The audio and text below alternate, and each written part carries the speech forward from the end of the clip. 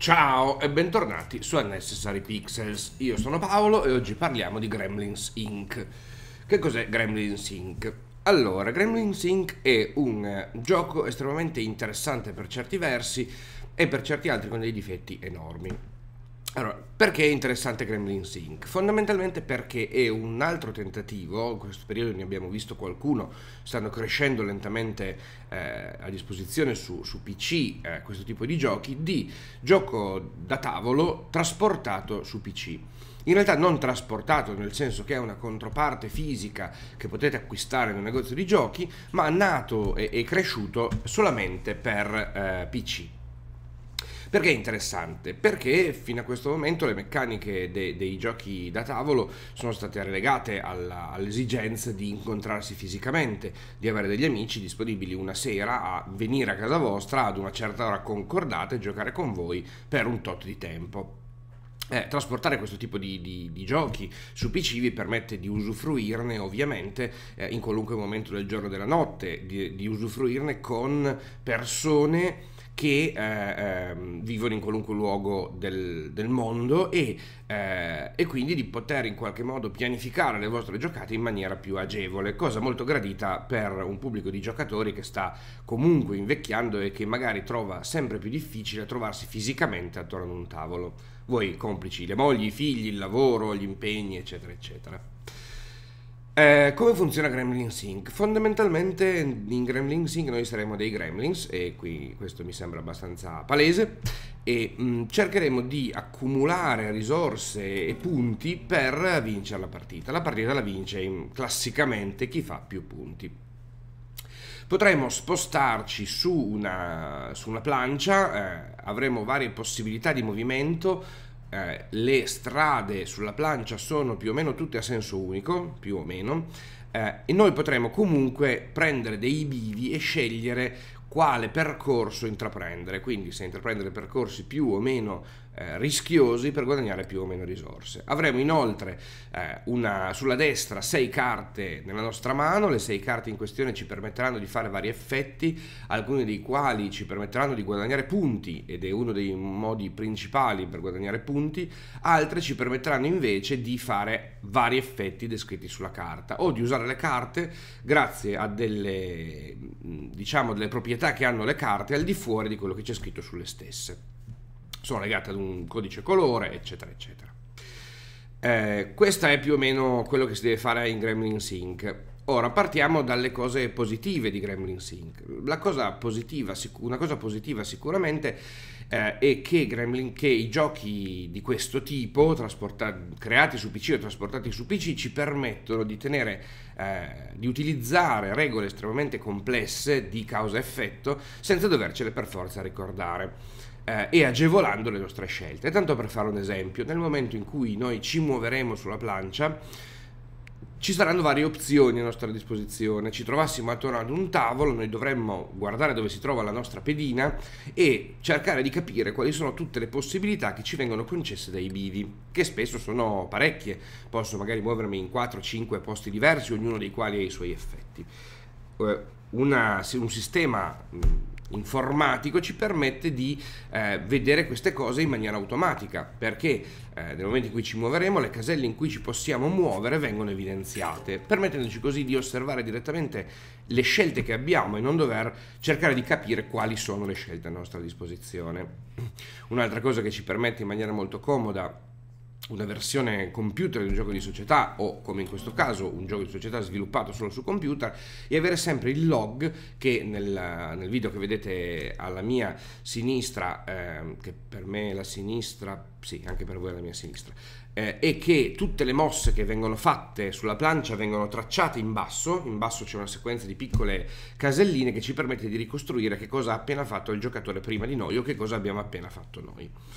Eh, le cose negative di questo, di questo gioco. Allora, sicuramente è un gioco piuttosto complesso, nel senso che le opzioni a nostra disposizione sono tante, i modi per fare punti sono tanti, le strade da percorrere sono parecchie, il tabellone è diviso eh, in, in, sezioni, diciamo, delle quali la sezione destra ci permette di raccogliere risorse, la sezione sinistra ci permette di...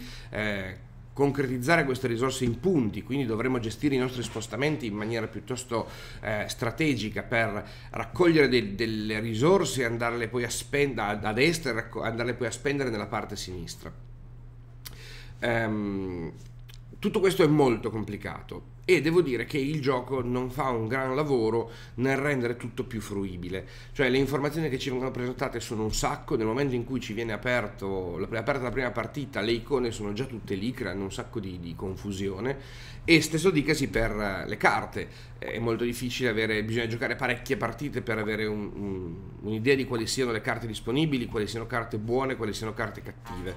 Nella prima partita che faremo non avremo idea se una carta che ci siamo trovati in mano sia effettivamente molto efficace o meno efficace delle carte di quel tipo che potrebbero capitarci nelle mani successive. Quindi non sappiamo se una carta va tenuta per il suo effetto o spesa per i suoi punti, diciamo. Ehm, questa è un, un, la prima cosa negativa che mi, che mi viene in mente. Altra, una cosa positiva sicuramente è che il gioco è ben ambientato, le illustrazioni sono molto piacevoli, tutto quello che vediamo a schermo è estremamente gradevole da vedere, anche se, come dicevo prima, un po' confuso. Eh, interessante il fatto che ci sia una componente, che tutta l'ambientazione sia a tema politico-economico, quindi tutte le carte che, che, utilizzeremo, quasi tutte le carte che utilizzeremo e tutti gli eventi che andremo a triggerare sono legati ad un'ambientazione politica, sociopolitica, economica di questa città eh, nella quale è ambientato il gioco. Um, una cosa negativa è che le partite a Gremlin Sync durano forse troppo per un gioco che del fatto di poterlo giocare in un momento non convenzionale, essendo su un PC, eh, fa un suo punto di forza. Se io posso iniziare una partita a Gremlin Sync alle 11 di sera perché i bambini sono a letto, la moglie sta guardandosi un telefilm e io ho voglia di giocare a qualcosa, non voglio che la mia partita duri 3 ore, 2 ore eh, ho bisogno di qualcosa di più, più veloce. Uh, un'altra cosa negativa di Gremlin Sync è che non si ha spesso la, l'idea di quanto possa un, uh, una di come stia andando la partita, cioè di chi sia realmente in testa e chi sia realmente in coda. Mi è capitato di giocare una partita Gremlin Sync in cui ho creduto di essere in coda tutta la partita, eh, ho chiuso con due buone carte e ho ribaltato completamente la, la, la graduatoria tra me e, e, gli altri giocatori.